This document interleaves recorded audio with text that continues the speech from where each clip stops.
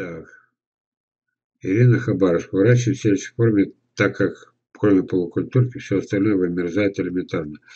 Давай так, И, И, Ирина Хабаровская, вы не правы или я не прав. Нас история рассудит. Нам, на мой взгляд, Хабаровск – это довольно благодатный климат. И там 40 градусов морозов в районе города, ну, скажем, ближайшие 100 метров туда-сюда, на юг, на север, на запад, 40 градусов морозов не бывает. В таком случае можно обходиться в бестелющейся форме. Но это, так сказать, э, это, так сказать, общее понятие. Может быть, где-то конкретное место, что там действительно вымерзает. Но не должно быть, не должно быть. Есть, допустим, вы знаете мой пример. Десять лет назад я был в саду Крутовского. Это под Красноярском. За сто лет климат изменился, это исторический сад, практически музей. И за сто лет климат изменился радикально, появилась плотина, потепление произошло, 40 градусов зимние стали, а они как садили полукультурки, так и садят.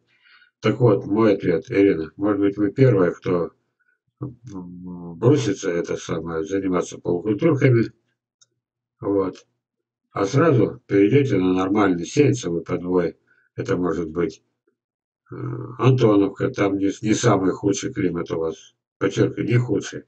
Это может быть полукультурный яблок, это может быть ранетка. Это может быть от меня сибирки, улучшенные сибирки, окультуренные сибирки, как подвой. И тогда вырастет мощное дерево, 6, 8, 10 метров высотой, которое совершенно плевать на ваши эти самые. И, и не, э, слово вымерзает, оно даже слух режет. Не может оно вымерзать в Хабаровске, не может. Яблони-то, господи. Вот, вот так я прикидываю. Второй вариант, конечно, корневые отводки, они тоже хороши. У нас всех в Сибири, в, Красном, ну, в нашем районе, все садоводство основано на прививках на ранетке или, или сибирке. Так, а вы дальше пишете. Дело не только в морозах, в сильнейшем солнце, ожоги зимние-весенние, ледяные ветра, зимние сушающие. Ну, против ветров, ну как хотите. Ну, я понимаю, голая степь и сушающие ветра. Но всегда можно найти такое место, где нет сушающих ветров, потому что есть защита какая-то. Я когда, вы же как, допустим, Комсомольск на море, наверное, это где-то всегда, когда течет река, у нее, как правило, один, одна сторона пологая, а вторая обрывистая. Это связано с вращением Земли и с тем, что вода все время подмывает один из двух берегов. Получается, один все выше, а другой все ниже. Вот это и есть такое явление. И, а, и я когда под Красноярском, итак, построили ГЭС, гигантский водоем, водоем впитывает влагу, зимой она дает влагу тепло, вот, и мы ездим зимой, ездим, выбираем участок для моих друзей, кругом. Это фактически как, чуть ли не как аул, аулы в горах, ниже, выше, ступенями. Везде дачи, дачи, причем много добротных дач. Везде участки, пусть он 20-30 соток. И везде защита от этих иссушающих ветров. Почему? А потому что построен на том берегу, который обрывистый. Это значит, хуже всем тем, у кого уже нет выбора. Вот какой есть сейчас, такой есть. Есть иссушающие ветра. Значит, придется прятать под снег. А вот если немножечко бы загодя подумать, что хороший дом, а никто не думает, будет ли здесь расти сад. При покупке дома об этом не думает никто. Ну ладно, идем дальше. Дмитрий Дубляш, телеги укороченные, дружите. Ну, вот это вот тоже. Ну-ка я нажал, рискнул. Сад Красноярск. Группа создана для описания закладки частного плодового сада в городе Красноярск. Пошагово. Ну что, здорово. Что скажу. Вот видите, еще один адрес появился. Так, пригородах морозы до минус 45. Так, тоже мне голову морозит, что в Хабаровске минус 30, они же и не бывает. Вот. Так. Снова Татьяна, подождем. Ага. Хабаровске он тоже на Амуре. Так, там персики выращивают. Я хочу в Комсомольске попробовать посадить персик. Так, ну персик тогда укрывать придется, если вы правы, это минус 45. Только укрытый. Любовь.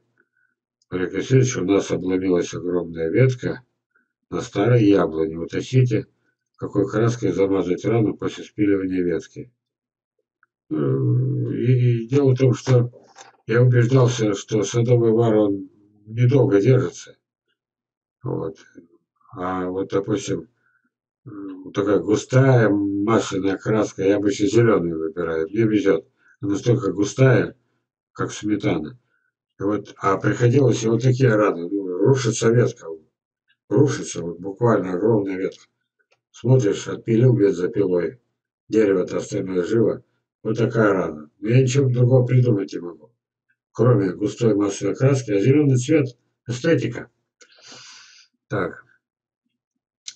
Лак мастика. Да, теперь вот лак мастика – это фирменное изобретение нашего друга. Вот. Значит, Валерия Александровича Долматова. Вот. Это один из самых моих близких друзей. Он живет в Челябинске. И вот Лак-мастика – это его фирменное название. Лак-мастика.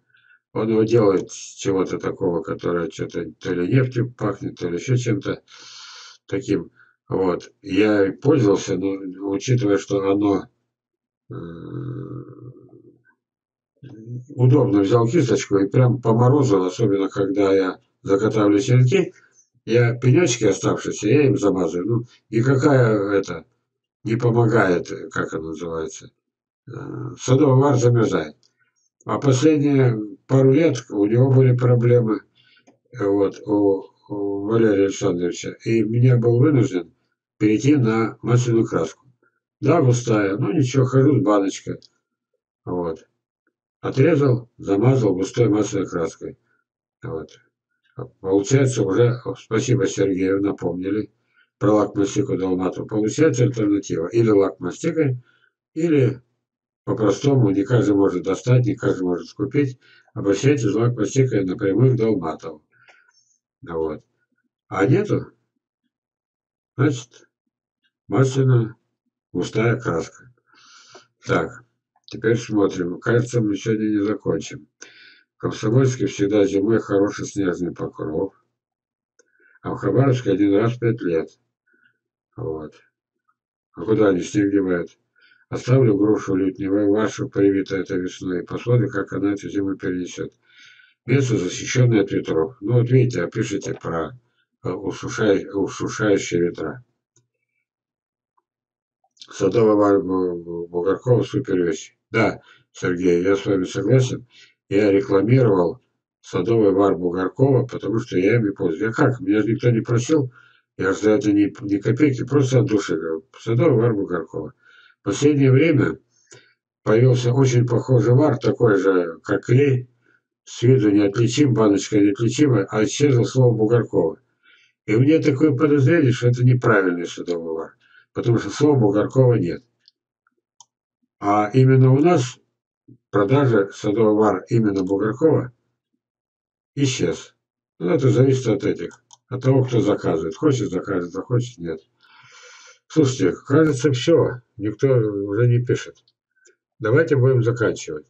Значит, вы видите, заказать семена в каталоге. Хотите помочь? Всем. 100-200 рублей.